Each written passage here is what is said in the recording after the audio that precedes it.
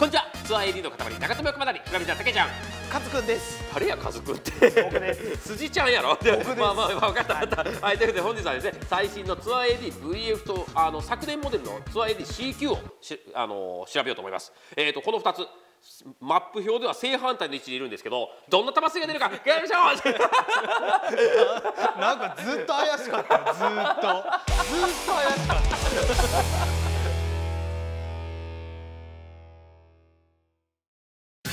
まずは振動数を測ってみよう。はい改めまして本日はですねまあオープニングの説明大体皆さんも理解してきたと思うんですけど。全然わかんない。全然わかんないえっとね最新シャフトグラファイトデザインさんの最新シャフトであるツアー AD この VF ですね。VF とまあ一応昨年発売モデルあの一つ前のモデルですね。この CQ のシャフトっていうのを調べようと思いますでこの2つってこの、まあ、同社のマップ表では正反対の位置にいまして要するに調子が全く違うということなんですね。だからそれで実際どれぐらい変わってくるかっていうのを調べようと思うんですけど、まあ、とりあえずいつも通りまず振動数からいこうと思います。今回はどちらも 5S で測ってみますのでそれではまずツアー ADVF の 5S の振動数測ってみます。で尻上がりにね滑舌が良くなってるかなっていう感じです259ですね。真似すんな はい、えー、続きましてツアー ADCQ の 5S の振動下がっています。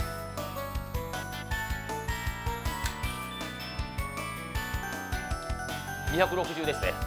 なんなんその胸突き出す感じ。意味ちゃったら嬉しいけど。続い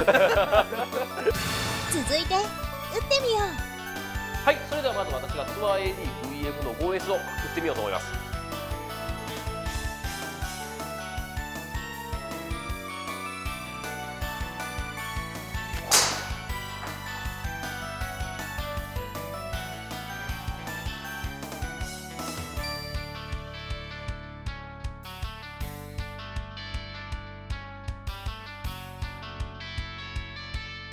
はいそれでは辻さんにもツアー ADVF の 5S 打ってもらおうと思います。はい、はい、お願いします。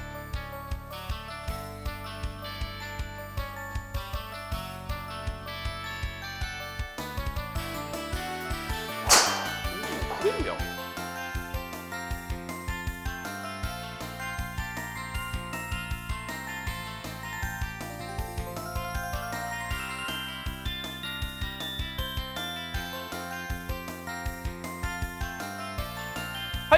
んはい続きまして私がツアー ADCQ の 5S 打ってみようと思います。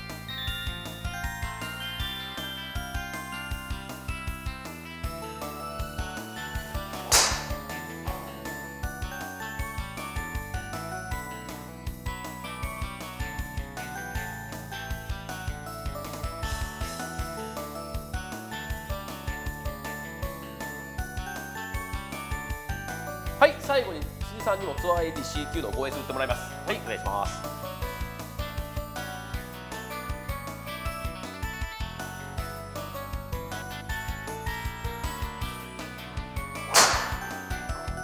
おこ辻さんこっちの方が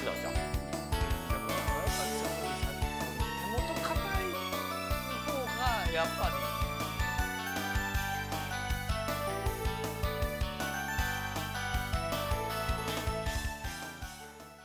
データを見てみよう。はい改めまして本日はツアー AD のこの VF っていうモデルと CQ っていうモデルを比較することになります、これまああの実は 2, 2年連続で出たシャあのシャフトなんですけどもあのまあ本当にあのまあちょっと初めにも話したけどあのグラファイトデザインさんのマップ表で真上と真下に位置するんですね。はあ、VF が真下真下真下まあこの縦ラインってまあ一応弾道の高さをイメージするんですけど要は一番低いと一番高い。これ2年続けてこんなモデル出してきたよグラファイトさんちょっと偏ったなという。そうだね中調子ってどっちかのイメージだ中真んね中に沿ったのが今回こうねあの完全に2年続けて真上と真下できたんでちょっとそれがどれぐらい違うのかっていうのを紹介したいなと思ってまあ本当に使ったヘッドはこのステルスですね。でこのシャフトの違いだけで、えー、とどれぐらい差が出るかっていうのを見たいのでまああの本当にそういうのをちょっと気になる人も見てほしいかなと。だからいまだにこうやって僕らも言ってますけどいやシャフトなんて変わらないのと思ってる人やっぱ多いじゃないですかね。全然違うよいや、ほんとだからそういう人のためにもちょっとね、まあ、この本当にシャフトって大事だよっていうのをちょっと知ってもらいたいので、はい、改めてまずそれぞれのシャフトをおさらいしましょう。まず、えー、と最新シャフトのこのツアー ADVF はカタログ表記が中本調子の、えーまあ、文字通りと手元系のシャフトですね。でお願いしますでただ同社のツアー ADXC など中本調子っていう、まあ、昔の中本調子ですけどとは少し異なってて切り返しのためはできるんですけど振り遅れのミスをできる限り抑えている設計なんですね。あのまあ、これを、まあ、あのグラファイトさんは進化系手元調子って歌ってるんですけどまさにこのシャープな振り心地の、えー手元調子のシャフトと思いますね。はい次にこれ昨年発売されているツアー ADCQ はカタログ表記が先中調子の走り系シャフトですね。で分かりやすく、まあ、これも結構分かりやすいです。手元から先端にかけて柔らかくなると。うん。あのー徐々に合成が低くなる、まあ、シャフトではまさに先調子の代表かなと思ってますね。あのただこのシャフトの面白い点っていうのは他社さんの先系シャフトに比べると切り返しの粘り感は少しあるんですよ、うん。だからまあこれは逆にグラファイトさんは、えー新たな先調子と歌ってるんですね。まあ要はなんか進化系先と進化系手元みたいな。まあまあ歌い方は何でもいいんですけど。まあでもその先ってなんか切り返しの感じがよよくわからんっていう人が多い中で言うと少し動く感じかなと、うん。まあまああのーこの辺はちょっとだからお互いのデメリットだから先調子は先調子のデメリット手元調子は手元調子のデメリットを払拭したモデルかなと思いますね、はいではここからちょっと本題に戻るんですけども、まああの初めにも話したんですけどこの2本のシャフトはグラファイトさんのシャフトマップ表では、えー正反対のポジションに、まあ、位置します。で VF っていうのはどっちかっていうとフェード系の最も低弾道の、えー位置にあって逆に CQ っていうのはドロー系の最も高弾道の位置に属してもうまさに左右も反対。だからもう言うたらこういうイメージですね。そうだね。ですよ全然逆だね。本当に。だから、で振動数も、えー、と確か259と260そう。VF が259そうですよね。CQ が260まあ、これはもう正直もうほぼあの大差ないですよね。もう誤差の範囲で大差なしなんででまた重量も 5S でそれぞれ 56g とどっちも56なんですね。もうまさに数字上での違いはほぼありませんだから逆に言ったらこの2本日本の違いっていうのはもう調子だけですねそういうことだねですね。はい。じゃあ実際ここから私とまあ辻さんが持った弾道を見ていきます。まず2人に共通これ赤の弾道 VF ですね。2人に共通してるのが低めっていうことですよね。間違いなく。うんね低いどっちかっていうと左から2人とも帰ってきてるっていうイメージですね。で。黄色が、えー CQ なんですけど CQ は2人とも高いです。まあこれまあ僕はごめんなさいドローが打てドロー系になると言いながらドロー打てなかったんですけどただ高さは確実に高い。そして辻さんに関してはもう完全右プッシュ。何打ってんのみたいな。ごめんなさいごめんなさいすいません。あもうしゃあないなあの闇やあのあれや闇上がりやけど。そうそうそうそう。闇から帰ってきたから。闇から帰ってきたから。ただ分かりやすくその高さがやっぱりねあのうん僕の方はまず打ち上げ角度ですね。は打ち出しが、えー、と VF が10.8に対して CQ が14.3まあ僕のヘッドスピードで言ったらどっちかというと14.3から15度ぐらい14とか15度ぐらいが適正なんで、うんうんうんそういう意味では、まあ、CQ の方が適正な高さが出てるかなっていうふうには思います。で逆に辻さんの方は 10.3VF が10.3と CQ が13.6で辻さんのヘッドスピードは僕より速いのであのそれこそ13度から14度ぐらいが適正になるんですね、うんうん。ってなってくるとやっぱりこれも CQ の方が打ち出しは正解と、うん。ただ距離は面白いですね。これ2人ともスピン量が少ない VF の方が少ないから距離は、えー、と僕は、えー2ヤードほど VF が勝ってますね。辻さんはあの完全に CQ はバカみたいな当たりしてるんで あの全くもってあの距離の差があの、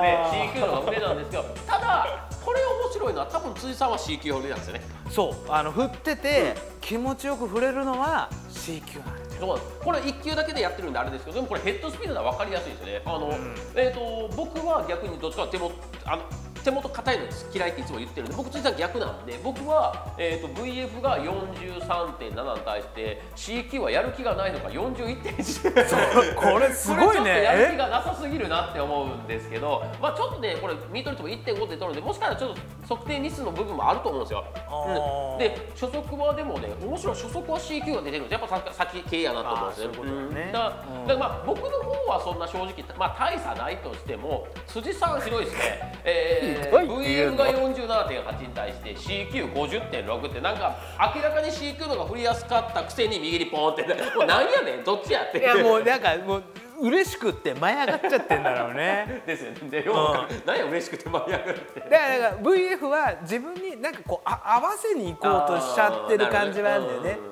だからそのまあヘッドスピードで見れば断然 C 級の方が好きなんでしょうね、うん好き。っていうね。それも見たら分かります。だからその辺が結構ね露骨に出るってまあだから逆に言うと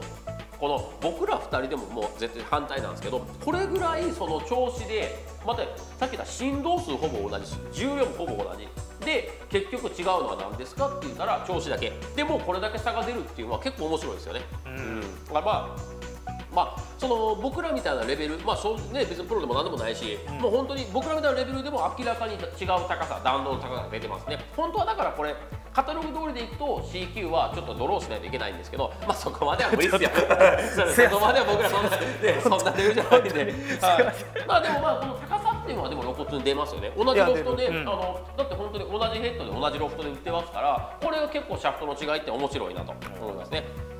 まあ、僕としてはだからさっきから言うように、まあ、これはもうあの好みの問題ですけど僕は VF の方が打ちあの打ちやすかったんですけどたださっきだし僕本当の先調子って嫌いなんですよ。手元硬いやつ。だからあのー少し C 級でも手もやっぱ結局切り返しの時にちょっとヘッドの位置が分かるっていうのがいいんでだから C 級も別にあ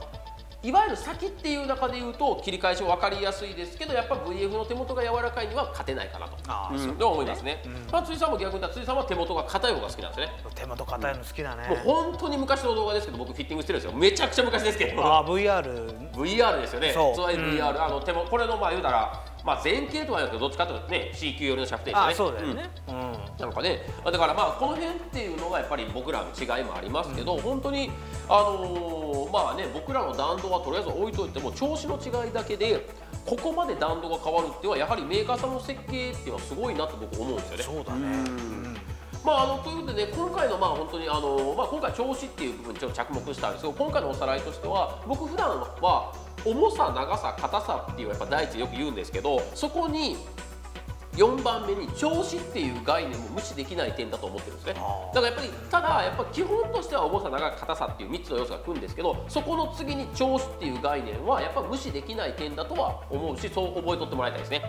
で特にこのあのシャフトのカット幅が少ないドライバーシャフトにおいてはそれが結構顕著であのフェアウェイになると短くなる分ちょっと中に寄るとかっていう人も多いんですけどやっぱりドライバーっていうのは一番クラブが長いのでその調子っていうのが露骨に出るんですよね。だからその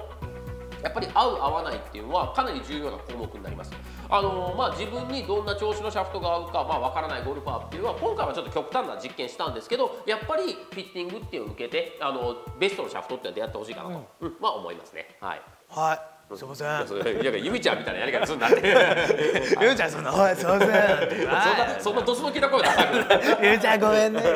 じゃあこれでもフィフィッターとしてこれ例えばもう俺確実に先だよねって、でもまあなんとなく結果だけ今買ってもらおうと思ったら、なんとなく手元の方が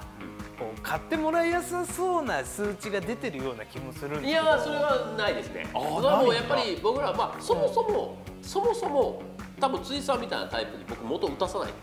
あそもそもね。やっぱりあのっていうかそもそも真逆のシャフトを打たすことっていうのはよっぽどじゃない限りないです。僕らってもう本当にこれフィッティングの仕事ってどんな仕事って言われたら僕らはこの人に合うだろうなっていうのをまず判断してあとはその系統の調子のシャフトを3本ぐらい打ってもらうまで。だからその